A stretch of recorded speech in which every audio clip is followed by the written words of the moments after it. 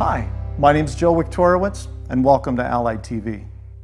Moving can be costly for anyone these days, and oftentimes homeowners cringe at the thought of having another set of expenses to worry about.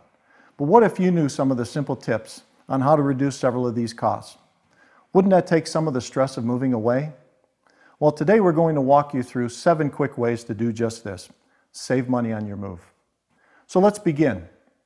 One of the first factors you need to consider before moving is whether you're going to do it yourself or hire a moving company.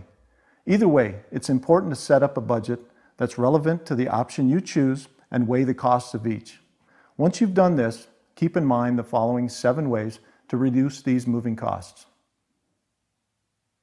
Number one, plan to move during moving industry's off season. One of the busiest times of year for moving companies is during summer or holidays and on weekends. If you want to save yourself extra costs that companies charge during these busy times, it's best to plan a move during spring or fall time. Also, if possible, have the company move you during the week instead of the weekend. Sometimes rates are higher on the weekends than during the week. Number two, reduce the amount of items you pack. Since moving costs are dependent upon weight, it's best to go through each of your items and get rid of unnecessary clutter.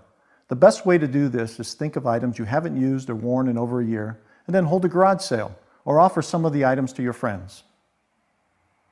Number three, be flexible with movers on your pickup and delivery dates. Working with your company's time frame instead of just your own oftentimes can earn you a discount. If possible, give the movers three to five days to deliver your item and three to five days to pick them up. Number four, do your own packing. Although this will save you some money, it's still important to remember, however, that proper packing is crucial. If you decide not to use the professionals, be sure you at least know how to safely pack each of your items to ensure nothing gets broken during the actual move. Number five, be sure your new home is ready to be moved into on the day of your move. Without ensuring this, you could face storage and transit fee if the moving company needs to store your items before they're able to be placed into your new home.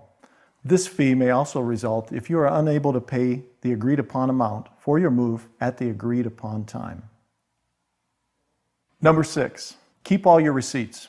When tax time comes around, you may be able to deduct some of your allowable expenses from your income taxes.